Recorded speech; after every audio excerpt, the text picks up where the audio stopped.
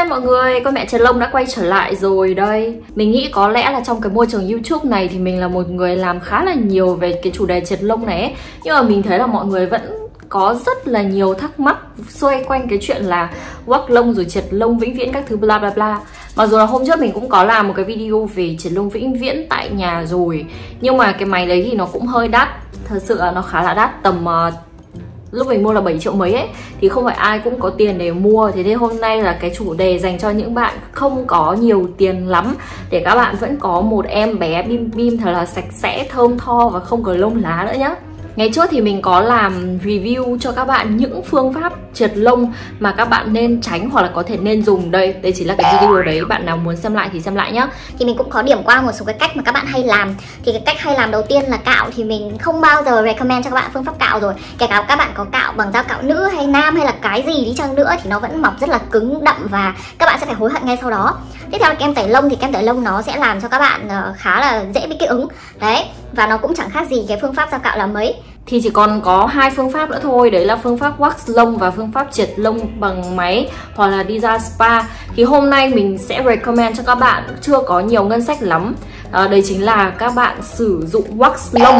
Nhưng mà cái wax lông lần này nó sẽ khác so với năm trước mình làm cho các bạn. Mình đã nghiên cứu ra rồi. Đấy là có rất là nhiều loại wax lông và chúng ta cần phải tìm một loại wax lông cho nó phù hợp với cái vùng bim bim của mình. Trên tay mình hiện nay đang là hai cái loại wax. Thì đây chính là wax lạnh và đây chính là wax nóng. Trước đây thì mình rất là hay sử dụng cái wax lông lạnh này, bởi vì nó rất là tiện lợi và không cần phải đun nấu gì cả. Tuy nhiên thì sau một thời gian sử dụng mình thấy như thế này, Đấy chính là cái wax lạnh này chỉ nên dùng ở cái phần body, Nói chung là phần chân tay, Chứ còn trên mặt hay là vùng bikini thì không thể sử dụng được. Không phải là nó không ra được lông, mà là bởi vì nó rất là đau và nó kiểu nó sẽ làm cho da của các bạn nó sưng veo, sưng vèo, nó đau kinh khủng khiếp luôn mọi người. Ok, cái phương pháp mà mình muốn giới thiệu cho mọi người đấy chính là cái phương pháp wax nóng này. Thì wax nóng này nói thật với các bạn, nó sẽ đắt hơn so với cái wax lạnh một chút, bởi vì là các bạn sẽ phải mua một cái nồi để các bạn đun cái wax này ra. Đây, cho các bạn xem.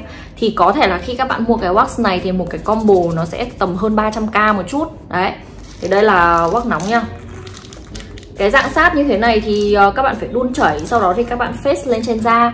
Mình sẽ nói cho các bạn về cái ưu điểm của em này. Đầu tiên đấy chính là nó đỡ đau hơn cái sáp hoặc lạnh. Nó đỡ, sẽ đỡ đau hơn khoảng tầm hai ba lần đó mọi người. Bởi vì sao? Bởi vì là cái wax này khi các bạn đun lên ấy thì nó sẽ làm giãn nở cái lỗ chân lông của các bạn ra.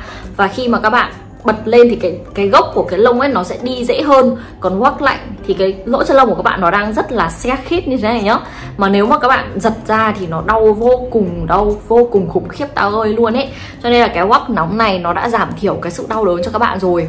Cái thứ hai đấy chính là các bạn sẽ tức thì nhìn thấy kết quả uh, nó sẽ trơn láng bóng nó sẽ rất là đẹp và nó không như kiểu cái phương pháp dao cạo. Ok bây giờ chúng ta sẽ bắt đầu vào những cái dụng cụ cần có khi mà các bạn wax lông bằng wax nóng nhá. Đầu tiên các bạn cần đấy chính là một cái sáp wax như thế này. Tiếp theo là các bạn cần một cái nồi.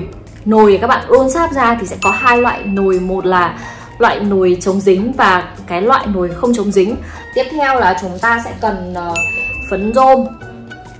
Phấn rôm này thì nó sẽ làm giảm cái ma sát lên trên da của chúng ta. Với lại những bạn nào ấy mà các bạn bị hay bị toát mồ hôi, đổ mồ hôi ấy thì cái phấn rôm này nó sẽ làm cho da của các bạn nó đỡ bị toát mồ hôi hơn. Và khi các bạn phết sáp lên thì các bạn mới giật ra được.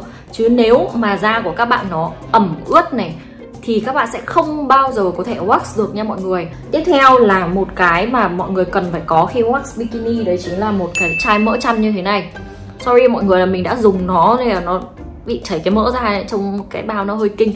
Nhưng nhưng mà cái mỡ chăn này nó sẽ có tác dụng gì? Đầu tiên là nó sẽ làm cho cái vết ửng đỏ nhá. Bình thường nếu mọi người wax thì mọi người sẽ thấy là da của mình nó sẽ bị đỏ lên. Thì cái em này sẽ làm dịu da ngay lập tức.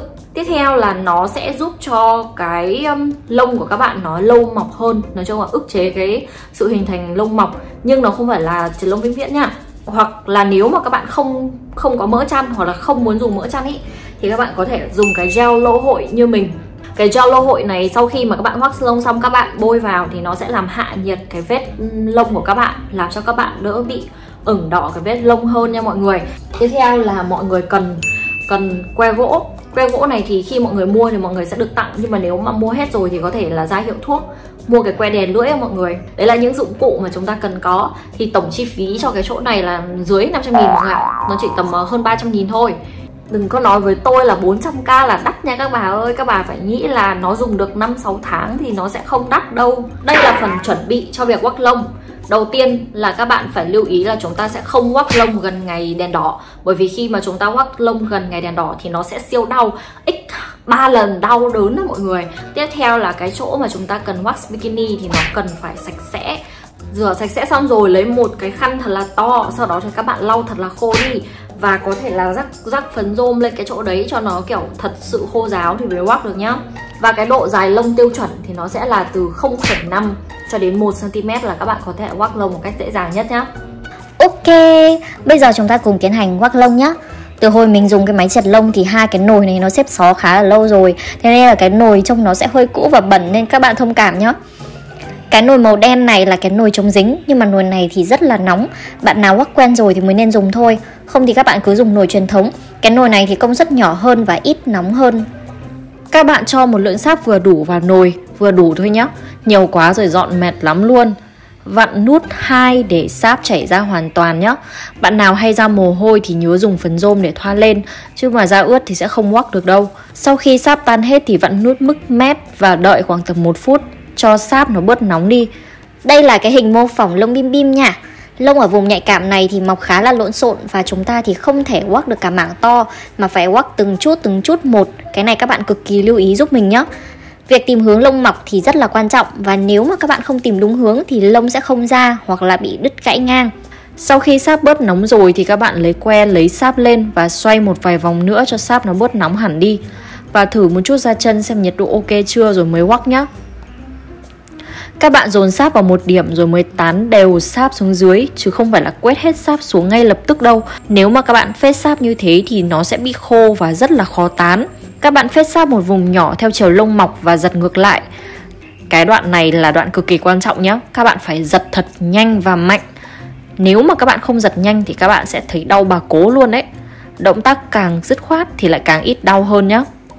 Bạn nào mới quắc thì sau khi giật lông hãy áp thẳng bàn tay xuống cái chỗ vừa quắc để hạ nhiệt. Và các bạn làm tiếp tục từng vùng nhỏ cho đến khi hết lông nhé.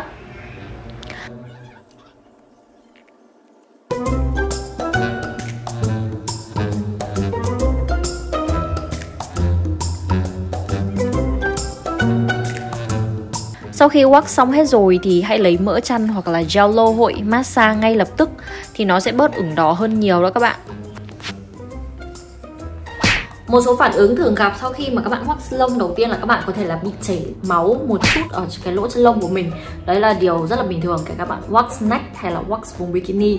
Thì có thể là nếu mà cái lông của các bạn nó quá dày ấy, Thì nó sẽ bị, kiểu ví dụ như da của các bạn nó đang mọc một cái lông nó to như thế này đi nó dày như thế này nó cắm ở dưới cái vùng bikini của mình thì mình giật lên nó sẽ tạo ra một cái lỗ nho nhỏ bên dưới nó chảy máu ra là chuyện bình thường nha mọi người. Thì uh, giải pháp như thế nào? Giải pháp là chúng ta sẽ phải uh, vệ sinh sạch sẽ cái chỗ mà chúng ta vừa wax. Sau đó thì sau khi mà các bạn đã hoàn thành xong cái việc wax của mình rồi thì các bạn sẽ bôi mỡ chăn hoặc là bôi gel lô hội vào cái chỗ mà chúng ta vừa wax nha mọi người. Tiếp theo là việc chăm sóc da sau wax. Đầu tiên là các bạn nên uh, kiêng tắm bằng xà phòng. Tắm bằng nước bình thường thì ok Nhưng mà nên kiêng tắm bằng xà phòng trong 24 giờ. Tiếp theo mọi người sẽ bôi mỡ chăn và gel hoặc là gel lô hội liên tục. Sau đó khoảng tầm 3 ngày cho mình bôi liên tục nhá. Sau đó duy trì một tuần bôi 2 đến 3 lần. Và sau 4 đến 5 ngày thì mọi người sẽ tẩy da chết cho cái vùng đó. Thì tẩy da chết như thế nào? Các bạn phải thực sự là có một cái um, ví dụ như là cái gel tẩy tế bào chết này hoặc là một cái um, uh, của coco ấy cái gì nhỉ? Cái cái cái cà phê bã cà phê tẩy tế bào chết ấy các bạn xoa xoa xoa xoa và massage cái chỗ đấy. Mình biết là có một số bạn nhá uh, nhắn tin cho mình bảo tại sao em vẫn bị lông mọc ngược? Trong khi đấy là em có dùng uh, tẩy tẩy tế bào chết. Thế mình hỏi các bạn là, thế em tẩy tế bào chết em có massage cho chỗ đấy không? Thì bảo là, không, em chỉ tắm xong em lấy lấy một tí thôi, xong rồi em tắm. Nhưng mà nhá, mọi người sẽ phải massage cho cái vùng đó làm sao để cái tế bào chết nó bật ra được và sau đó thì để đấy khoảng tầm một hai phút nữa rồi mọi người phải tắm rửa sạch sẽ. Nói chung là quy trình là như thế, nhưng mà cái cách các bạn thực hiện ấy, nó cũng rất là quan trọng để hạn chế tình trạng lông mọc ngược nha mọi người chứ không mà đừng để cái tình trạng lông mọc ngược ở cái cái cái vùng bikini nó rất là xấu, đúng không? Và thỉnh thoảng thì các bạn sẽ thấy là có một, hai cái cục mụn nó sẽ mọc lên và nó sẽ chứa lông ở trong đấy. Thì nếu mà nó ít, nó chỉ có một, hai cục thôi thì các bạn có thể là lấy một cái nhíp sạch đã được sát khuẩn và các bạn sẽ gẩy cái lông đấy ra thì nó sẽ hết cái tình trạng đó nha mọi người. À và có một điều mình muốn lưu ý cho mọi người đấy chính là không wax ở cái vùng gần gần âm đạo nha mọi người. Wax ở cái vùng đấy nó rất là dễ bị cháy xước và chúng ta không có đủ kỹ năng thì rất là dễ gây ra cái nguy cơ mà bị uh, bị chảy máu nhiều hoặc là bị viêm nhiễm ấy. Mình hy vọng là cái video này giúp được các bạn trong cái việc dọn sạch cỏ cái vùng bikini của mọi người. Và nếu mà mọi người thích thì đừng quên like, share và subscribe channel của mình nhé bởi vì mình sẽ trở lại với những cái video hữu ích hơn dành cho mọi người. Bây giờ thì bye bye và hẹn gặp lại mọi người trong video lần sau. Bye bye!